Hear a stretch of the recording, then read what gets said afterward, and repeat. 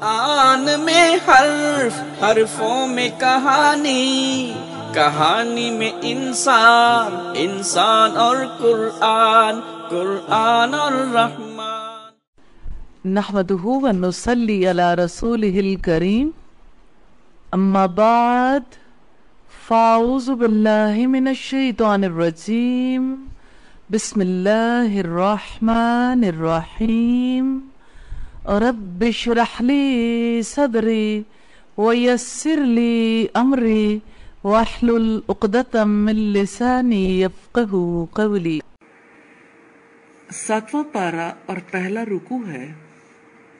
वैजा और जब समियू वो सुनते हैं, माँ जो उनजिला नाजिल किया गया, इलर रसूली तरफ़ रसूल के तरा आप देखते हैं।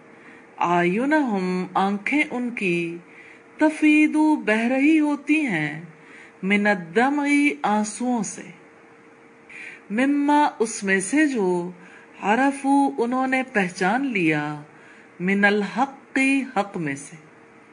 यकूलूना वो कहते हैं, रब्बना, ए हमारे रब, आमन्ना, ईमान लाए हम। फक्तुबना, चुनाचे तू लिख ले हमें। माशाहिदीन, साथ गवाही देने वालों के। वमा, और क्या है? लना हमारे लिए।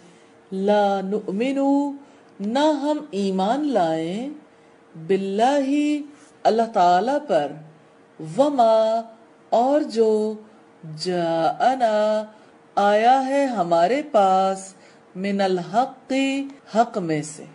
व नतमऊ, और हम हिर्स रखते हैं अंजे के युद्ध खिलाना शामिल कर ले हमें।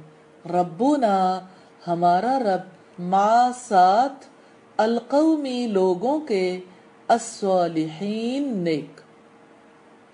फ़असाबहुम तो बदले में देगा उनको अल्लाहु अल्लाह ताला बिमा साथ उसके जो। कालू उन्होंने कहा, जन्नातिन बागात तजरी बहती हैं, मिन तहतिहा उनके नीचे से अल अनहार नहरें खालिदीना हमेशा रहने वाले हैं। फीहा उनमें, वजालिका और ये जजाऊ जजा है अल मुहसिनीन नेक अमल करने वालों की। वल्लजीना और जिन लोगों ने कफरू कुफर किया, व कजबू और झुटलाया उन्होंने भी आयातीना हमारी आयात को उलाई का वही लोग, असहाबुल जहीम, दोजख वाले हैं। अल्फाज की वजाहत है आयुन हम आँखें उनकी आइन की जमा है आयुन और हम उनकी। तफीदु बह रही होती हैं। फा या ज्वाद इसका रूट है। आप अपनी ज़ुबान में देखिए। इसी से फैज है, फैजान है।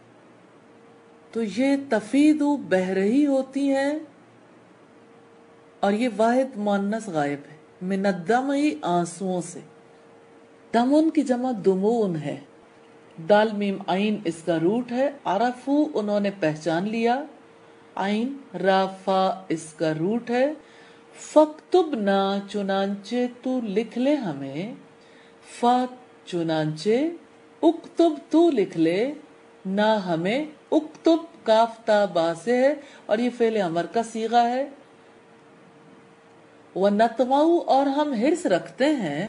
तो मीम आइन इसका रूट है। तमा हमारी ज़ुबान में इस्तेमाल होता है। फ़असाबहुम तो बदले में देगा उनको, फ़ा तो असाबा, बदले में देगा हम उनको, असाबा जो है इसका रूट है सावाउ बा और सवाब अब जानते हैं बदले को कहते हैं, अच्छे बदले को?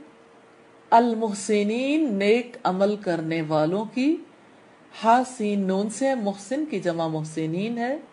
सुबहानकल्लाहुम्मा